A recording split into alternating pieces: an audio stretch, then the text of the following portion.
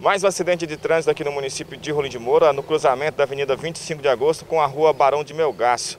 De acordo com as informações de testemunhas, o ciclista descia aqui pela rua Barão de Melgaço, sentido né, ao bairro Boa Esperança e acabou se acidentando aqui nesse cruzamento. Porém, de acordo com as informações de testemunhas aqui, enfim, são informações desencontradas, não se sabe se realmente o ciclista avançou a via preferencial ou se foi um carro que se chocou contra o ciclista, mas o que se sabe é que ele acabou se ferindo, acabou caindo aqui e se ferindo.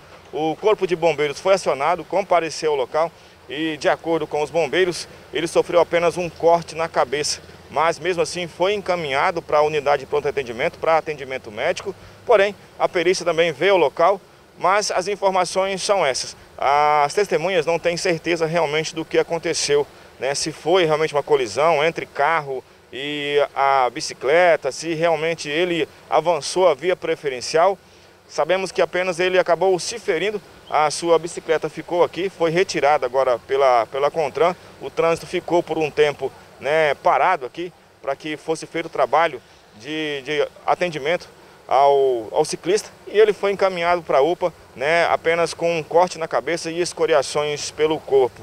Com as imagens de Alex Feliciano, Mário Genzen, para o jornalismo da SIC TV.